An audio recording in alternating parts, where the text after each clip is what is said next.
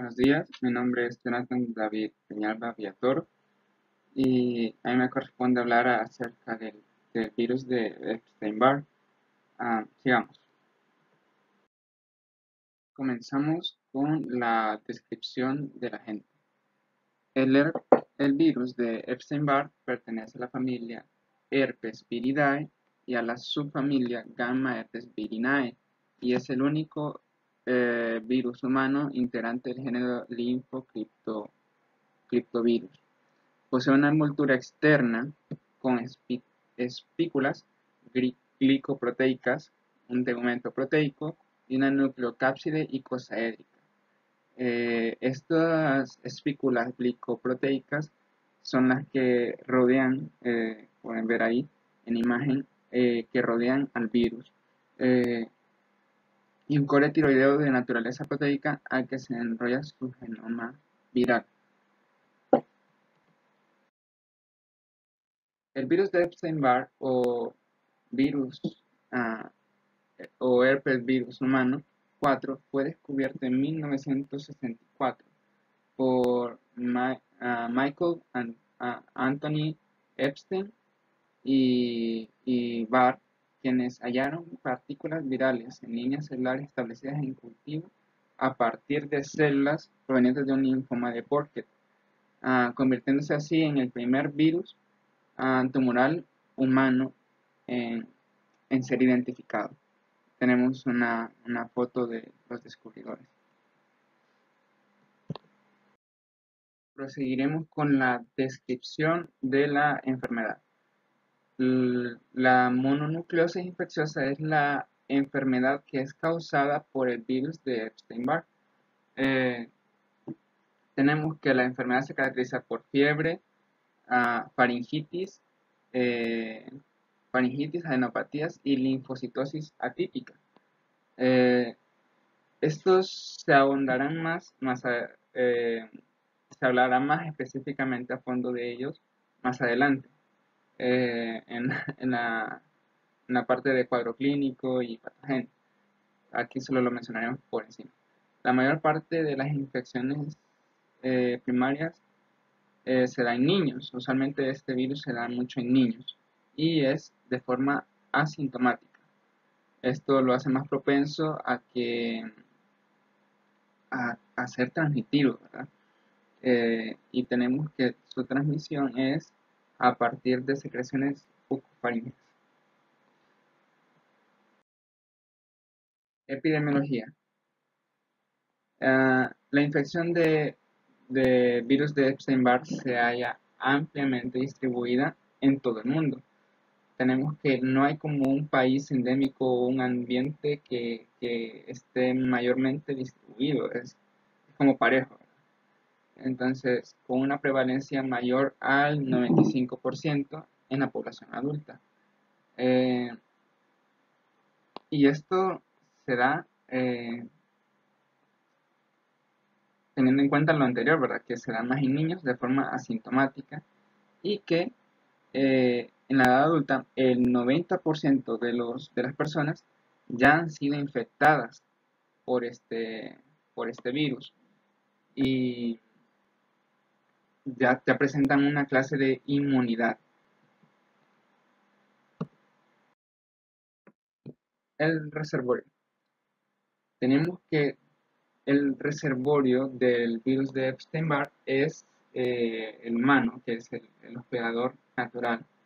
Entonces, eh, se ha detectado eh, altos niveles de títulos virales en la región orofaringea, que es donde este virus se se aloja, eh, recordando que su forma de transmisión es a partir de las secreciones bucofaringeas y que también se pueden encontrar en los tejidos linfoides, tales que las amígdalas. Eh, también se encuentran ampliamente distribuidos en el epitelio de la, mucosa oral, eh, pero no se tiene muy claro cuál es el papel del epitelio en esta enfermedad. Hola, muy buenos días. Mi nombre es José Miguel Pineda Perdomo y soy del grupo teórico número 3. A continuación pasaré a describirles los siguientes puntos del tema número 46 del virus Epstein-Barr. Bien, tenemos que el periodo de incubación de la mononucleosis infecciosa en los adultos jóvenes es de aproximadamente a 4 a 6 semanas. También tenemos que un periodo prodrómico, debido a una fatiga, malestar general y mialgias, puede proceder en una o dos semanas a la aparición de fiebre, faringitis, adenopatías. La fiebre suele ser leve y es más frecuente en las primeras dos semanas de la enfermedad, aunque puede persistir más en un mes. Tenemos que en el apartado del periodo de transmisibilidad tenemos que es prolongado. La excreción faríngea del virus puede persistir en forma celular durante un año o más después de la infección entre, después de la infección. Entre un 15 y 20% más de los adultos sanos que presentan anticuerpos contra el virus de Epstein-Barr son portadores del virus en la boca y la faringe por largo tiempo. Bien, tenemos que en el periodo de susceptibilidad o en la susceptibilidad del virus este, en general, la infección confiere un alto grado de resistencia. La inmunidad por una infección no diagnosticada durante la niñez puede explicar la baja frecuencia de afección clínica en los grupos socioeconómicos bajos. También tenemos que en las personas inmunodeficientes puede reactivarse el virus de Epstein-Barr, lo que atrae como una consecuencia este, en elevación de los títulos de los anticuerpos contra el virus, más no de los anticuerpos heterófilos y quizás la aparición de linfomas. Bueno, siguiendo en el siguiente apartado, tenemos, tenemos la patogenia. Tenemos que el virus se transmite vía oral por contacto estrecho, mediante el cual las partículas virales presentan en la saliva del infectado ingresan a la mucosa oral del susceptible. Existe controversia respecto de si el virus realiza ciclos replicativos en el epitelio de la mucosa oral o solo la atraviesa. Bien, tenemos que luego este, el virus ingresa al tejido linfoide subyacente que es rico en linfoblastos. Contacta lo que son los receptores CD21 e ingresa iniciando la expresión de genes de latencia. Los, tenemos que los eventos que se producen hasta la presentación clínica de la mononucleosis infecciosa no se conocen totalmente. Al momento de presentarse al cuadro clínico agudo existe una alta eh, replicación viral, con una gran excreción del virus libre por la saliva. También tenemos que entre el 0, el 1% al 1% de los linfoblastos sanguíneos está infectado por perdón, está infectado en un ciclo de latencia lo que sugiere que la proliferación celular inducida por el virus contribuye a un aumento de las células infectadas. Tenemos que estos linfoblastos activados y proliferantes infiltran tejidos linfoides. También tenemos que como se observa en los linfonodos este, y las amígdalas, la invasión del virus Epstein-Barr al sistema inmune provoca lo que es una respuesta LTCD8 eh, cuyo principal blanco son las proteínas de latencia codificadas por la enzima, si no me equivoco, EVNA3A, 3B, 3C y la proteína perdón, lítica BZLF1. Tenemos que estos linfocitos T activados observan características como linfocitos atípicos, grandes este, hiperbacilos o, también conocidos como células de Downey en los frotis sanguíneos de los pacientes y son los que se dan cuenta de linfocitosis periférica, esplenomegalia y linfoadenopatía. Linfoadenopatía. Bien, tenemos que en pacientes con disminución de los linfocitos T eh, citotóxicos específicos se podrían manifestar otras enfermedades asociadas. este, dentro de, la infección por el virus Epstein-Barr, tales como desórdenes linfoproliferativos, eh, post-trasplante, eh, leucoplaquia velluda oral o linfoma de, de Burkitt. Otros cánceres no están relacionados con la disminución de esta vigilancia inmunológica y más bien se presentan en el contexto de cofactores. Tenemos que en pacientes en los cuales se origina una infección de los LTCD4 y los NK, se observa una infección crónica activa. La respuesta inmune humoral que se monta contra los antígenos de la cápide viral y posteriormente, contra los antígenos nucleares virales son útiles para el diagnóstico de esta patología pero no está claro en qué medida contribuyen al control general de la infección. También tenemos que para evitar o evadir la respuesta inmune del virus Epstein-Barr se varía una serie de moléculas que concertadamente previenen la detección de antígenos tanto en su ciclo lítico como latente al interferir con la presentación de antígenos vía MHC1 y MHC11. Finalmente la infección no es totalmente eliminada y persisten los linfoblastos circulantes con genoma viral latente y excreción de partículas virales infectivas desde el epitelio oral o desde los linfoblastos subyacentes. También tenemos que por la saliva de manera recurrente para toda la vida. Sin embargo, la mononucleosis infecciosa deja inmunidad de por vida y no se repite como tal. Bien, ahora pasamos con el último apartado que me, corresponde. Tenemos el cuadro clínico. Tenemos que los síntomas más habituales por el virus Epstein-Barr o la infección mononucleosis, este, tenemos que son la fiebre generalmente elevada, astenia, tumefacción de ganglios linfáticos cervicales, occipitales, faringoamigdalitis, esplenomegalia, que es un aumento del tamaño del vaso, y también tenemos lo que es la hepatitis anictérica. Bien, tenemos que este, la infección a temprana edad no manifiesta síntomas y signos que la, la diferencian de otros eh, síndromes virales y con gran frecuencia es asintomática. Tenemos que en adolescentes y adultos la infección se manifiesta como una enfermedad infraproliferativa perdón, y autolimitada.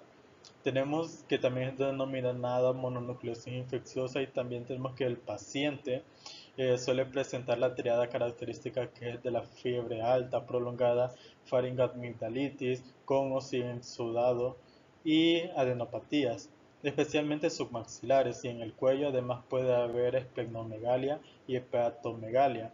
Cuando se ha recibido amoxicilina, el paciente suele aparecer un eritema macular tenue en el tronco y las bases de las extremidades.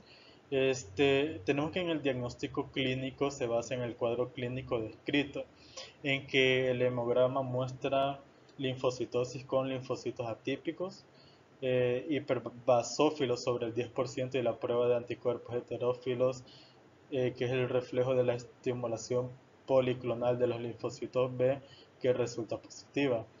Hay un aumento moderado de las aminotransferasas, mostrando cierto compromiso de hígado, eh, del hígado. También tenemos que la fiebre puede durar de 10 a 15 días la faringitis disminuye en la segunda semana y tenemos que las adenopatías van regresando lentamente, eh, de modo que en la tercera semana se plantea reiniciar progresivamente las actividades normales del paciente. Tenemos que a veces la covalencia se prolonga con decaimiento y lasitud. Como complicaciones se observa el síndrome de Guillain-Barré y algún compromiso del sistema nervioso tenemos que la mononucleosis infecciosa deja inmunidad de por vida, lo que se refleja en la presencia de los anticuerpos G anti-BCA del virus Epstein-Barr. Tenemos que en pacientes sin un estado eh, aparente de inmunodeficiencia puede haber una infección crónica activa por el virus Epstein-Barr en el cual tenemos que el paciente tiene síntomas eh, tipo mononucleosis junto a una persistente infección viral. El cuadro clínico se produce en, respuesta a una creciente respuesta inflamatoria debido a, la hipersecreción de citoquinas proinflamatorias.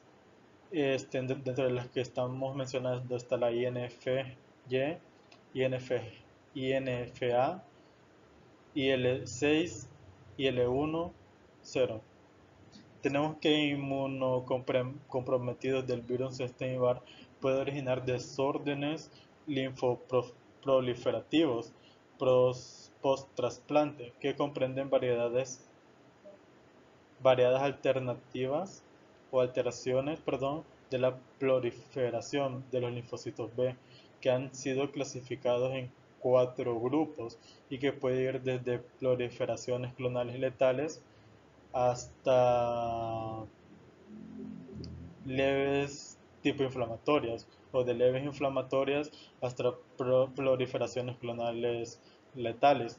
También se, se originan a partir de los linfoblastos infectados del donante y pueden presentar en trasplantados de médula ósea de un órgano sólido, como tumores multifocales extranodales en pacientes con SIDA se le asocia ciertas linfomas del sistema nervioso central. En niños con SIDA o trasplantados se puede presentar leimiosarcomas en el tubo gástrico o el aparato respiratorio asociadas a la infección por el virus Epstein-Barr. En inmunodeficientes se puede presentar leucoplasia oral velluda. En inmunocompetentes se han observado otras enfermedades malignas de las cuales los más importantes son el, el linfoma de Hodgkin, el linfoma de Burkitt y carcinoma nasofaringeo.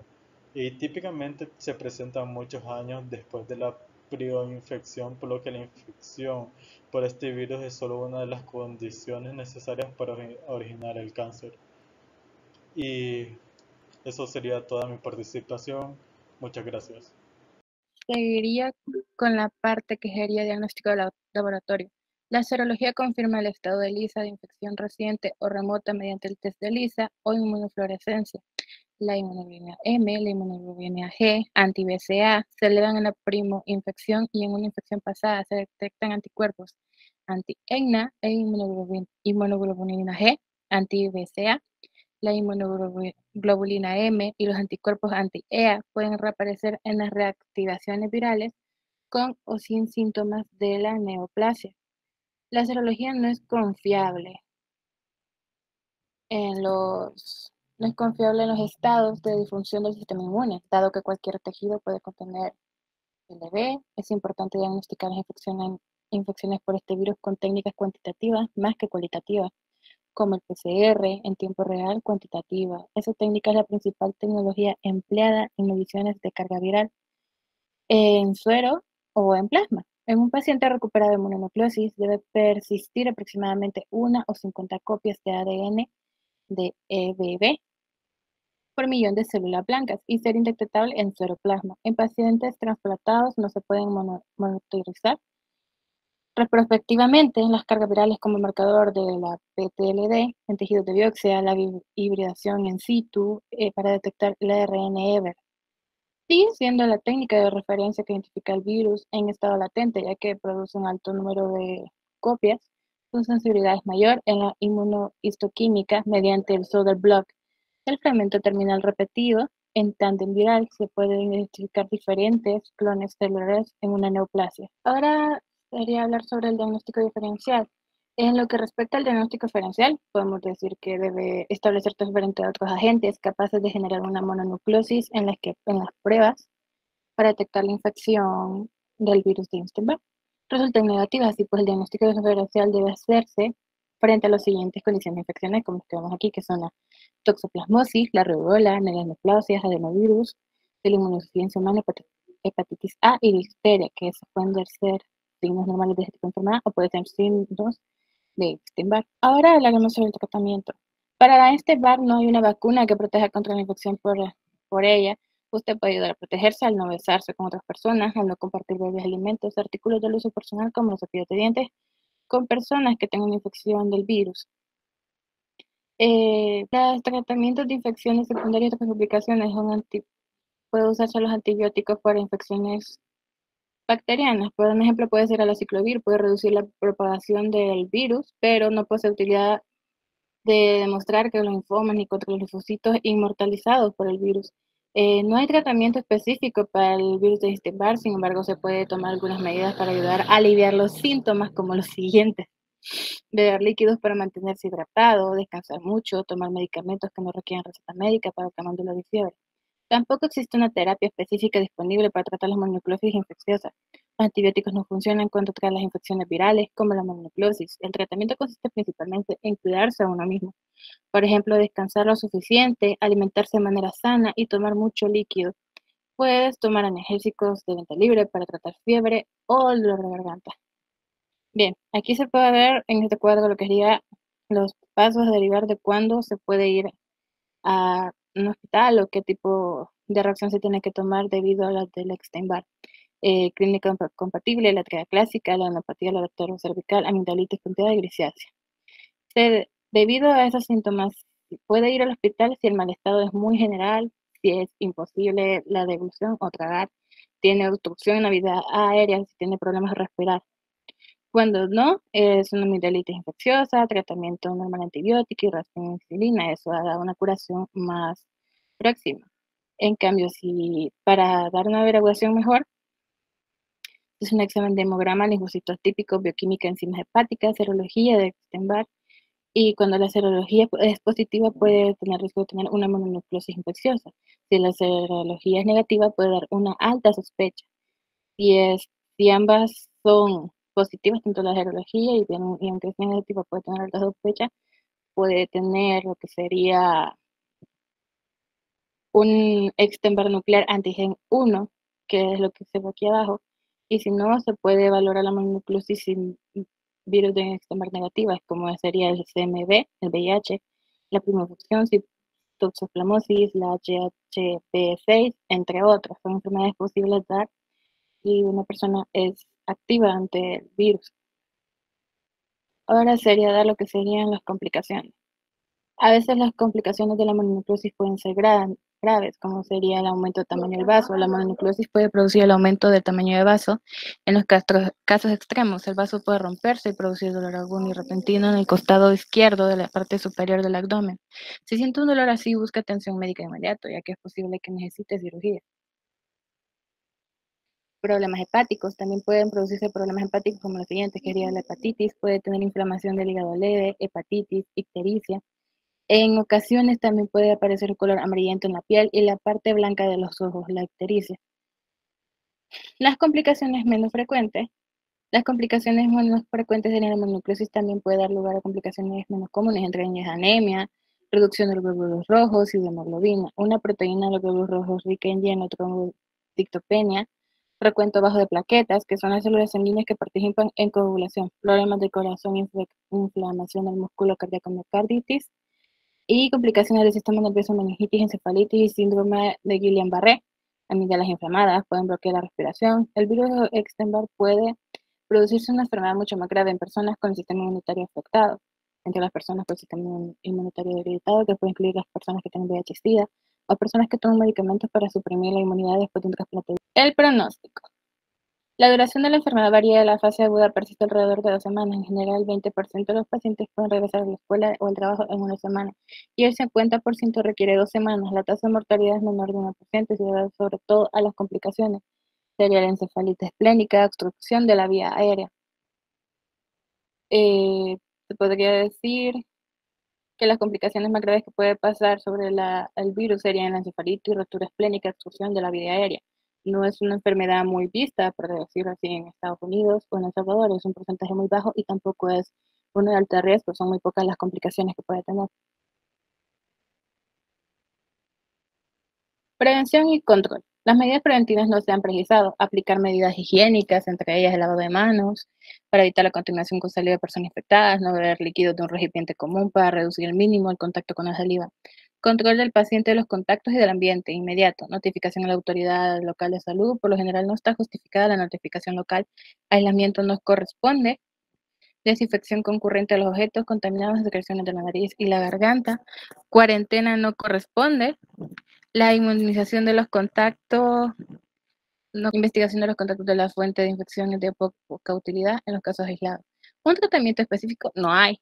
En los casos tóxicos graves en los pacientes con afección orofaringea intensa o inflamación del calibre de la vía respiratoria, son útiles los antiinflamatorios no esteroides o los esteroides con dosis baja, eh, decrecientes durante la acción de la semana aproximadamente. Las medidas en caso de epidemia no, no hay, debido a que es una baja probabilidad de, de contagio, a menos que sea por medio de la saliva de la persona infectada, pero tomando las medidas necesarias no es una cosa muy fuerte. Repercusiones caso de estrés tampoco hay y medidas internacionales ninguna, ya que el Epstein-Barr es un tipo de virus muy poco usual que se dé y al mismo tiempo muy poco que se dé a infección de otras. Un cordial saludo, doctor. Mi nombre es Carlos Daniel Hernández Rodríguez y me corresponde empezar con el citomegalovirus. La infección por virus citomegálico es muy común, aunque con relativa rareza presenta un cuadro sintomático. Y cuando lo presenta, este suele estar relacionado con la edad y con la inmunocompetencia que presenta el paciente en ese momento. Vamos con la descripción de la gente. El citomegalovirus pertenece a la familia de beta herpes viridae Dentro de la familia de los herpes viridae, este está clasificado como un herpes virus 5, el cual posee las características típicas de esta familia, con las partículas con un diámetro de 180 a 200 nanómetros, con un core denso, con una cápside con simetría icosaédrica, un tegumento, una envoltura y características antigénicas similares tenemos que este inicialmente se aisló de pacientes con una enfermedad congénita con inclusión citomegálica. Este se identifica porque presenta graves daños congénitos, además de que en niños mayores y en adultos puede causar una gran variedad de trastornos característicos, que estos están muy relacionados, como mencionábamos, de la, de la edad en los niños, que depende mucho de la frecuencia con que se dé en rangos de edad que presenta el paciente. Luego tenemos que esta suele presentar desde una infección subclínica sintomática a un síndrome de mononucleosis en, sujetos sanos y una enfermedad diseminada en pacientes inmunodeprimidos. Tenemos que el citomegalovirus es uno de los virus emparentados con especificidad de especie que causan enfermedades similares en distintos animales. Todos ellos presentan células características aumentadas de tamaño, de ahí el nombre citomegalovirus. El citomegalovirus es un herpes virus beta, como mencionábamos anteriormente, que cuenta con DNA de doble hebra, cuatro clases de mRNA, una cápside proteica y una cubierta lipoproteica con otros virus herpéticos presenta una simetría icosaédrica, se replica en el núcleo celular y puede originar una infección y productiva o infección latente. Puede distinguirse de otros virus herpéticos por propiedades biológicas diseminadas, que podemos mencionar que como la variedad de hospedadores que infecta y el tipo de citopatología que provoca. Su replicación se acompaña de la producción de inclusiones intranucleares grandes y citoplásmicas más pequeñas. Parece replicarse in vivo en diversos tipos de células y cultivos hísticos. Crece preferentemente en los fibroblastos, aunque existen pocas pruebas que sea oncógeno in vivo en raras ocasiones es capaz de transformar los fibroblastos y se han identificado fragmentos de transformación genómica. Vamos con la historia de la enfermedad. El citomegalovirus fue aislado por primera vez en el 1956 por Smith y colaboradores en pacientes con enfermedad de inclusión citomegálica congénita y actualmente se le conoce como un patógeno importante en todos los grupos de edad. Cuando se informó por primera vez que se había logrado que los citomegalovirus humanos formaran réplicas in vitro, Rowe y colaboradores en el 56 y Wells y colaboradores en el 57 se pudo disponer de las técnicas para estudiar las infecciones clínicas reconocidas atribuidas a estos agentes. En 1960, Weller y colaboradores propusieron el nombre de citomegalovirus. En los años siguientes se multiplicaron los estudios sobre los citomegalovirus, con lo cual se reconoció su distribución mundial y sus efectos en fetos y pacientes infectados que presentaban una anormalidad en el sistema inmune. Casi toda la investigación inicial se concentró en las entidades conocidas de la enfermedad de inclusión citomegálica congénita o SID. La forma congénita diseminada de la infección transcurrió otro decenio antes de que se descubriera que la SID y otras entidades clínicas eran solo un principio de un número mucho mayor de infecciones no evidentes que afectaban regularmente a los neonatos como resultado de la transmisión vírica por la desencamación genital materna del citomegalovirus. Vamos con la descripción de la enfermedad. En este caso observamos que esta se observó principalmente o inicialmente en una enfermedad congénita con inclusión citomegálica. De ahí observamos también que aparece una infección subclínica asintomática hasta un síndrome de mononucleosis en individuos sanos. Luego tenemos que esta en su forma más grave puede llegar a desarrollar en un 5 a 10% de los lactantes infectados en el útero. Estos lactantes tienen síntomas y signos de infección generalizada grave que afecta en especial el sistema nervioso central y el hígado.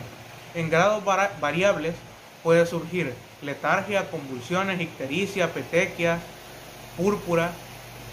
Eh, también tenemos corioretinitis, además calcificaciones intracerebrales y también puede presentar infiltrados pulmonares.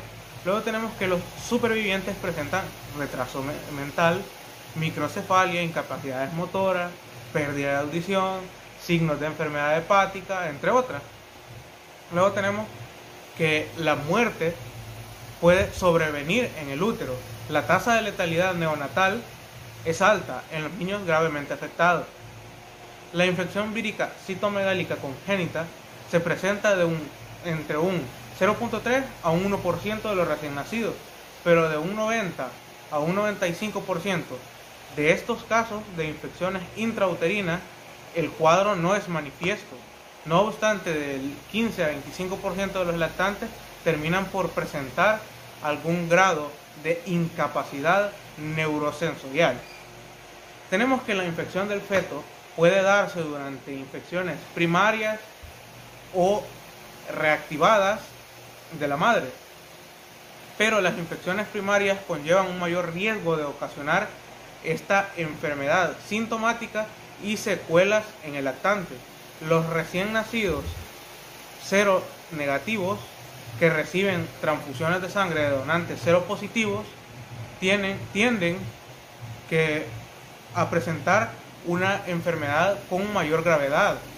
La infección adquirida en una etapa ulterior de la vida generalmente no es manifiesta, pero puede causar un síndrome similar a la mononucleosis por virus de Epstein-Barr que mencionábamos anteriormente los compañeros, de la que puede diferenciarse por medio de estudios virológicos y serológicos o por la ausencia de algunos anticuerpos, como pueden ser los heterófilos.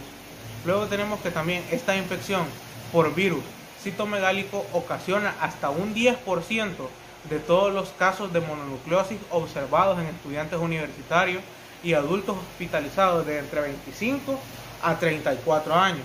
Y la infección vírica citomegálica es la causa más común de mononucleosis después de una transfusión en personas no inmunes. Luego tenemos que muchas infecciones subsiguientes a dicha transfusión no tienen signos eh, clínicos, por decirlo así. Suelen ser asintomáticos. En pacientes inmunodeficientes e inmunodeprimidos se presenta una infección diseminada con neumotitis, retinitis, trastornos de las vías gastrointestinales como gastritis, enteritis y colitis y también puede presentar hepatitis. Luego tenemos que en la infección vírica citomegálica es también la causa más común de infección después de trasplante de órganos sólidos y médula ósea. En el trasplante de órganos tenemos que es particularmente cierto en el caso de un receptor seronegativo y un donante seropositivo o portador. Sin embargo, la reactivación es causa común de enfermedad. Después del trasplante de médula ósea, en ambos casos la tasa de enfermedad grave se acerca más o menos o aproximadamente a un 25%. En el recién nacido, el diagnóstico se hace al aislar el virus o por reacción de la cadena de polimerasa, por lo común de la orina. El diagnóstico de la enfermedad por virus citomegálico en el adulto es difícil por la elevada frecuencia de infecciones asintomáticas y recidivantes. Hay que recurrir a múltiples modalidades para el diagnóstico en la medida de lo posible para lograr demostrar la presencia de dicho virus en los órganos, la sangre, las secreciones respiratorias o la orina. Es necesario aislar este virus, detectar su antígeno, lo cual puede realizarse en el término de 24 horas y detectar el ADN del virus citomegálico por medio de reacción de cadena de polimerasas o por hibridación in situ. También se realizarán estudios serológicos para demostrar la presencia del anticuerpo IgM específico contra el virus citomegálico o un incremento al cuádruple del título del anticuerpo. La interpretación de los resultados exige conocer los antecedentes clínicos y epidemiológicos del paciente. Vamos con la epidemiología. El citomegalovirus presenta una distribución mundial. En muchas de las regiones del mundo la gran mayoría de los adultos son seropositivos a citomegalovirus, mientras que solo el 50% de adultos en Estados Unidos y Canadá son seropositivos. En las regiones donde la prevalencia de anticuerpos citomegalovirus es elevada, es más probable que los adultos inmunodeprimidos sufran reactivación de infección primaria. La información que proviene de ciertas regiones se debe contemplar siempre que sea posible en el contexto de los índices locales de seropositividad. En Estados Unidos aproximadamente el 1% de los recién nacidos está infectado por citomegalovirus. En muchos pacientes menos desarrollados, el hacinamiento y la deficiente higiene personal favorecen una propagación rápida de las infecciones perinatales y al principio de la infancia son bastante frecuentes. El virus puede hallarse en la leche, saliva, heces, orina. Se ha comprobado la transmisión entre los niños pequeños de guarderías y se ha podido seguir su pista desde un niño pequeño infectado hasta una embarazada y de ahí al feto. Cuando un niño infectado introduce el citomegalovirus en el hogar, el 50% de la, de la familia está predispuesto a ser infectado por este vector. El citomegalovirus no se propaga fácilmente por contacto fortuito, sino que requiere una exposición íntima repetida o propagada para su transmisión, como mencionábamos anteriormente, ya sea el caso de un niño con su madre, el contacto con la leche, el caso de en los hacinamientos que también mencionaba, que entre en contacto las personas con las secreciones de otra. Al final de la adolescencia y en los adultos jóvenes, el citomegalovirus a menudo se transmite sexualmente y su propagación asintomática en el semen o en las secreciones cervicouterinas es frecuente. En una elevada proporción de varones y mujeres sexualmente activos aparecen concentraciones estables de anticuerpos contra el citomegalovirus. Los pacientes pueden tener simultáneamente varias cepas. La transfusión de productos hemáticos que contienen leucocitos viables puede transmitir el citomegalovirus con una frecuencia de 0.14 hasta un 10%, que ya es una cantidad considerable. La transfusión de sangre leucorreducida o seronegativa para citomegalovirus reduce considerablemente el riesgo para transmitir dicho virus. Una vez infectado el individuo, probablemente sea portador del virus toda la vida. La infección suele permanecer silenciosa, como decíamos, asintomática. Sin embargo, los síntomas por reactivación del citomegalovirus son frecuentes cuando se deteriora la inmunidad mediada por linfocitos T, por ejemplo, después de un trasplante de un órgano, durante neoplasias linfoides, eh, ciertas, ciertas inmunodeficiencias adquiridas, como podríamos mencionar el SIDA, que es la más frecuente, o en pacientes graves de la unidad de cuidados intensivos. La mayor parte de las infecciones por el citomegalovirus en los receptores de trasplante es secundaria a la transmisión de dicho injerto. En los receptores de un trasplante con citomegalovirus cero positivo, la infección es resultado de la activación de un virus latente. Con menos frecuencia eh, es debido a la reinfección de una cepa nueva.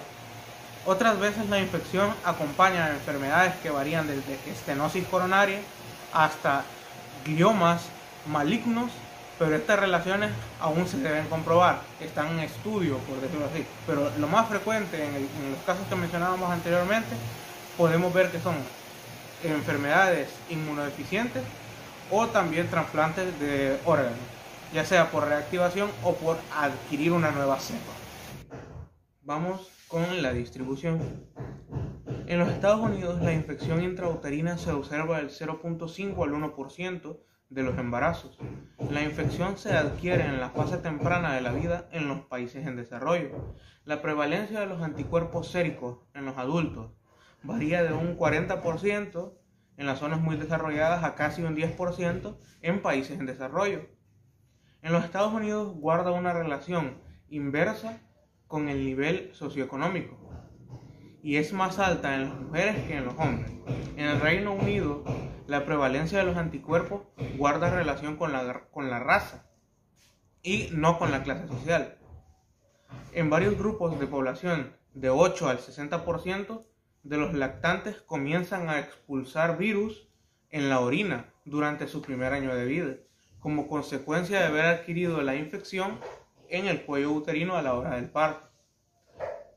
Vamos en el reservorio. Decimos que en este caso el único reservorio conocido es el ser humano, debido a que las cepas que se han descubierto no tienen ningún efecto en animales, por lo que decimos que el único lugar donde pueden actuar es dentro del ser humano debido a que poseen las condiciones adecuadas y la especificidad de especie que mencionábamos anteriormente.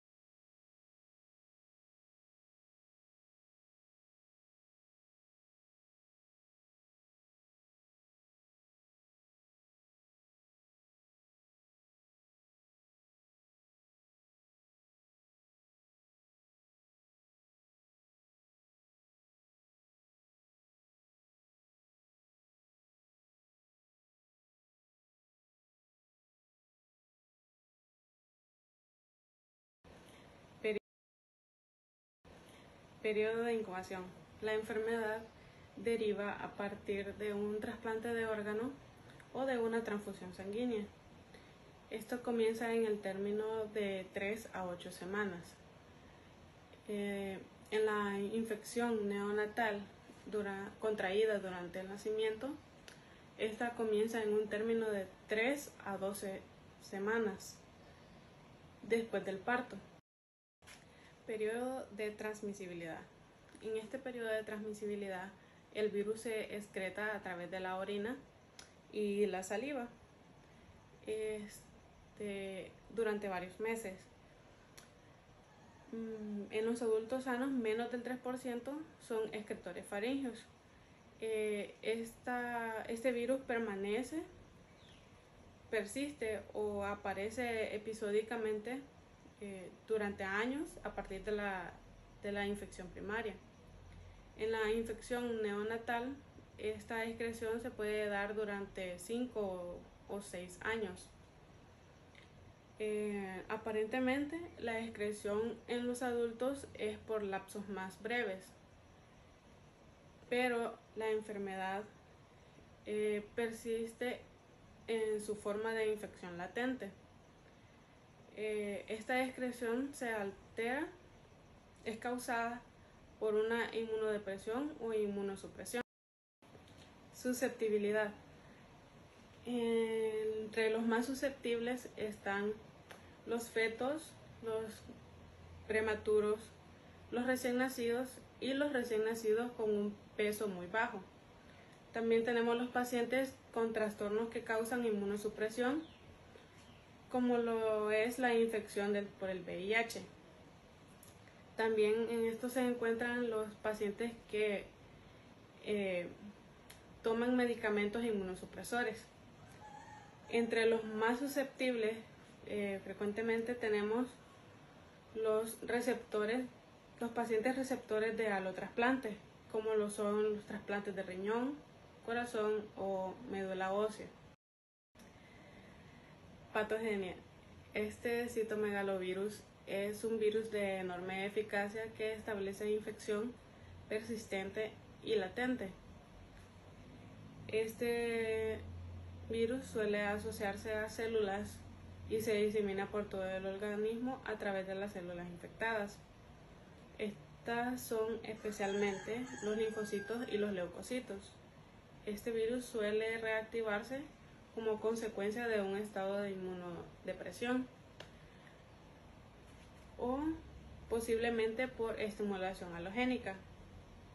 La inmunidad celular es importante para eliminar y controlar el crecimiento excesivo de este citomegalovirus.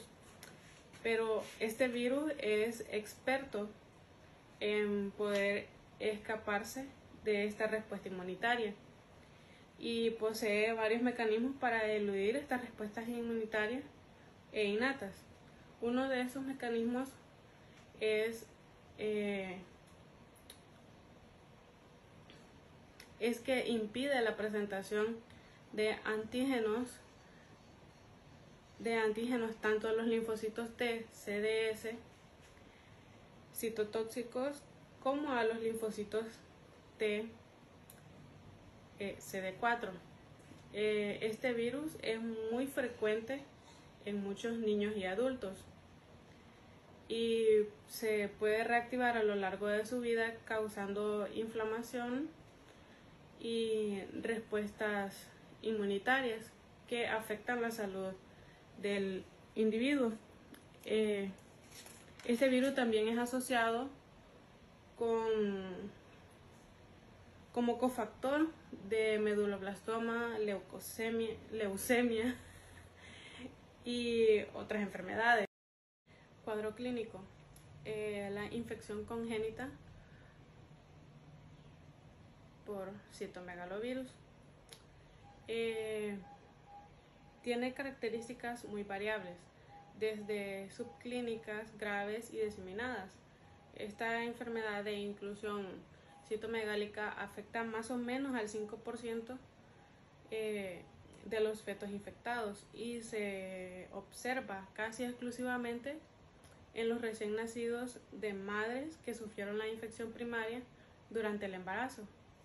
Entre las manifestaciones eh, más frecuentes, entre un 60 y 80%, tenemos la petequias, la hepatoesplenomegalia y la ictericia. Entre un 30 y 60% eh, de frecuencia tenemos eh, la microcefalia con o sin calcificaciones cerebrales, el retraso del el crecimiento intrauterino y la premadurez y con menos frecuencia entre un eh, y con menos frecuencia eh, tenemos que hay hernias inguinales y coriorrenitis. Eh, el pronóstico de los lactantes con esta infección grave es muy desfavorable. Este, la tasa de mortalidad asciende entre un 20 y 30% y muy pocos de los sobrevivientes suelen escapar de consecuencias como el retraso intelectual o la hipoacusia. Y mayormente estos recién nacidos infectados eh, manifiestan clínicamente eh,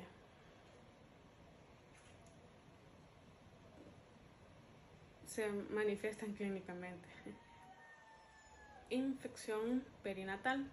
El recién nacido puede adquirir el citomegalovirus durante el parto o por, eh, o por contacto postnatal con la leche u otras secreciones de la madre.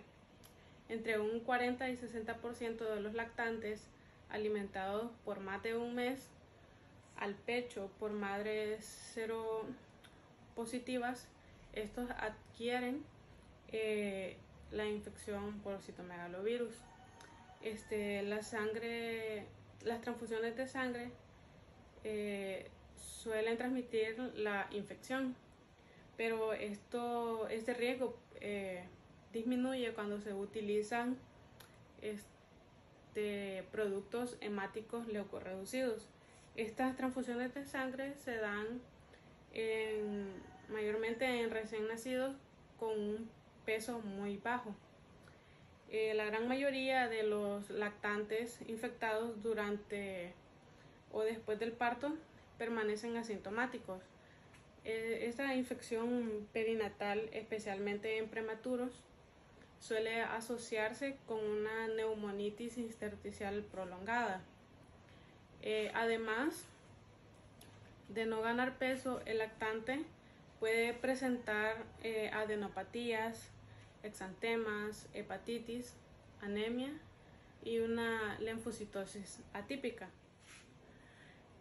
Mononucleosis por citomegalovirus.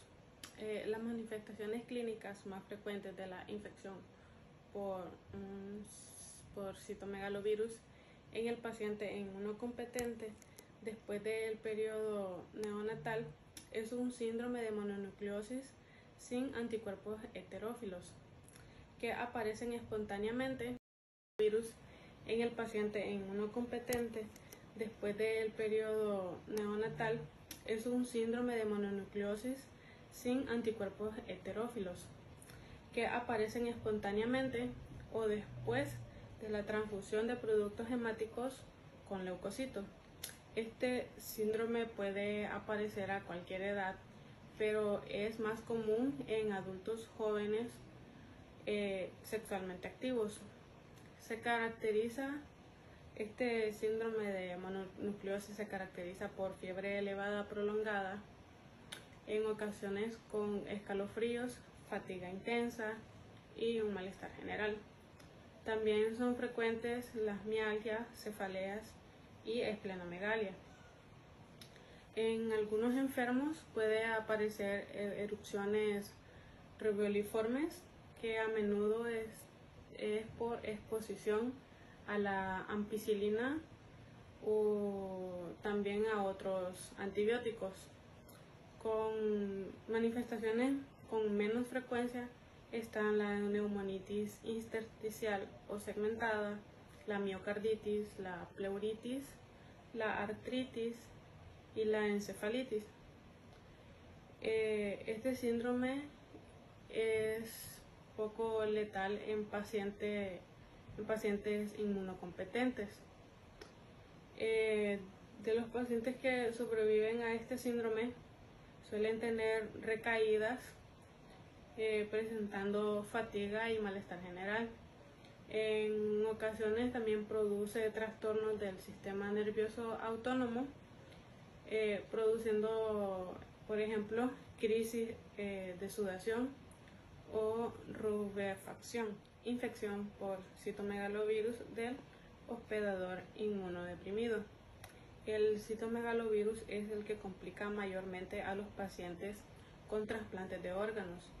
En los receptores de riñón, corazón, pulmón, hígado, páncreas y compuestos vascularizados como las manos, eh, cara y otros.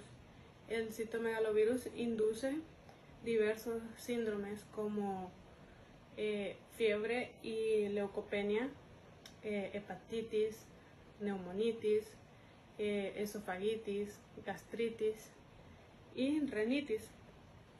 Esto sin profilaxis, el periodo de mayor riesgo es entre 1 y 4 meses después del trasplante.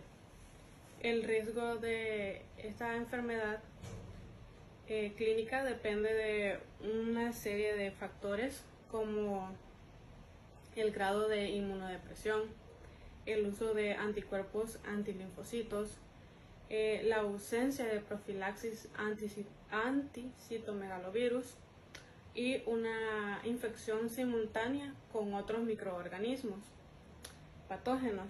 El órgano trasplante constituye el blanco particularmente vulnerable para la infección por citomegalovirus.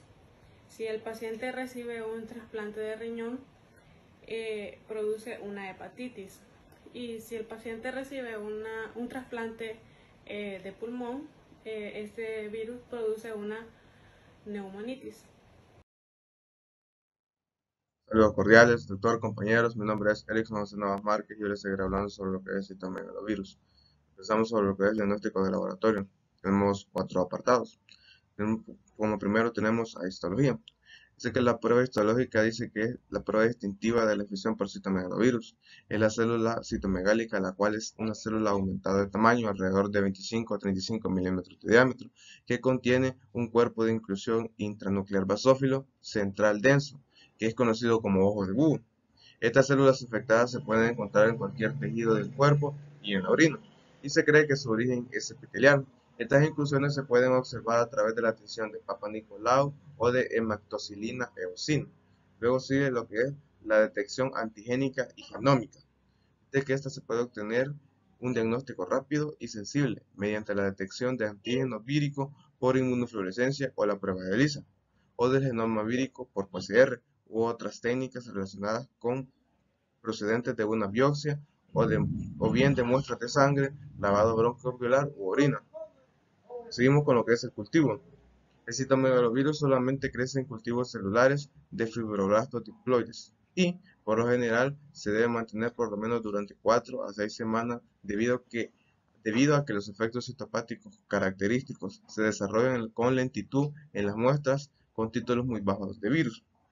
El aislamiento del virus es especialmente fiable en los pacientes inmunodeprimidos, cuyas secreciones suelen presentar títulos elevados del virus. Por ejemplo, los títulos de virus viables pueden ser mayores de 10 en el semen de pacientes con SIDA. Se pueden conseguir resultados más rápidos mediante la centrifugación de una muestra del paciente en células cultivadas en cubreobjetos en el interior de un vial con cubierta. Las muestras se examinan al cabo de unos días de incubación mediante inmunofluorescencia indirecta respecto a la presencia de uno o más antígenos precoces inmediatos víricos. Ahora tenemos lo que es la serología. La prueba serológica normalmente la seroconversión es un detector excelente de la infección primaria por citomegalovirus. Los títulos de anticuerpos de IgM específicos de citomegalovirus pueden ser muy elevados en los pacientes con SIDA. Sin embargo, también pueden aparecer anticuerpos IgM específicos del citomegalovirus durante su reactivación, por lo que no es un indicador fiable de una infección primaria. Pero seguimos con lo que es el diagnóstico diferencial. Dice que el principal diagnóstico diferencial se plantea con el virus del herpes simples, porque las inclusiones intranucleares del citomegalovirus pueden confundirse con las del herpes virus.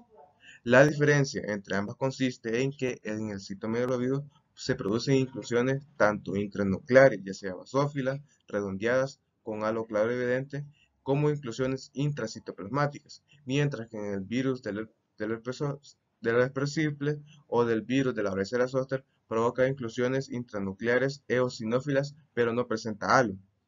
La microscopía electrónica no es útil para distinguir las inclusiones por citomegalovirus de, los otros herpesvirus, que en ocasiones pueden coincidir. Para el tratamiento, tenemos lo que es el ganciclovir, que dice que este es un análogo nucleósido de la guanosina, estructuralmente similar al aciclovir, y este inhibe la replicación del citomegalovirus y previene la enfermedad por citomegalovirus en pacientes con SIDA y en receptores de trasplantes, y reduce la gravedad de algunos síndromes por, citomegalovirus como retinitis y enfermedades gastrointestinales. También tenemos lo que es la combinación de inmunoglobulina y ganciclovir, que esta parece reducir la elevada mortalidad de la neumonía por citomegalovirus en pacientes con trasplantes de médula ósea de mejor manera que el ganciclovir por sí solo.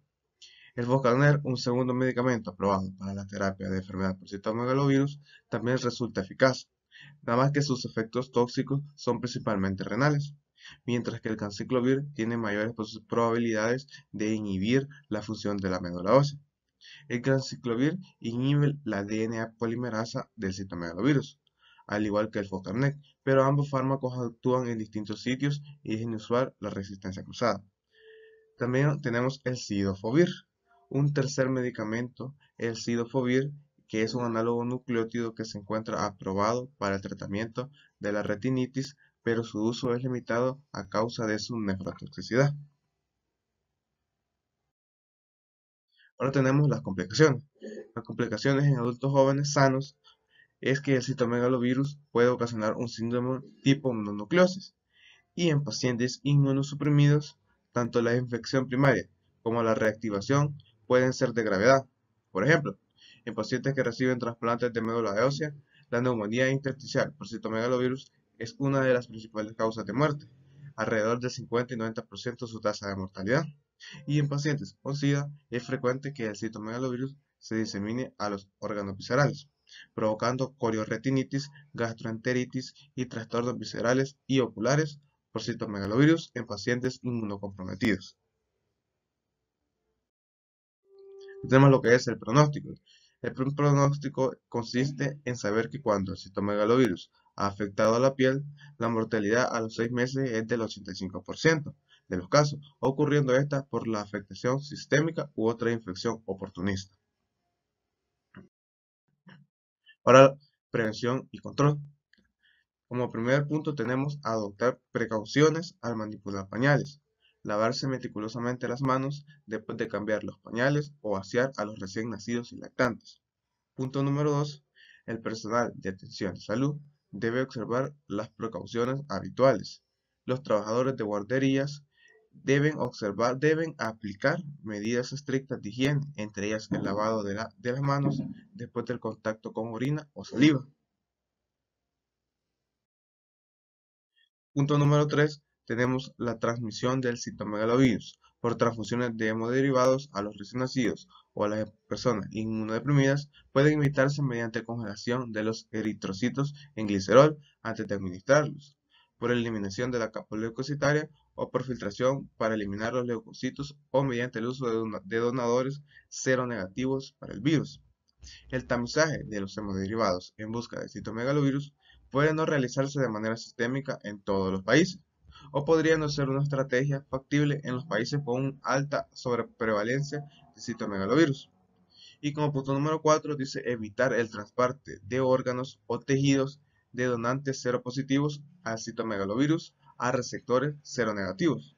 Si fuese inevitable, puede ser útil administrar inmunoglobulina hiperinmune o antivíricos de manera profiláctica o presintomática. Estos últimos también son útiles en los receptores de trasplantes de médula ósea seropositivos, que son portadores latentes del citomegalovirus. Hasta aquí mi participación. Muchas gracias.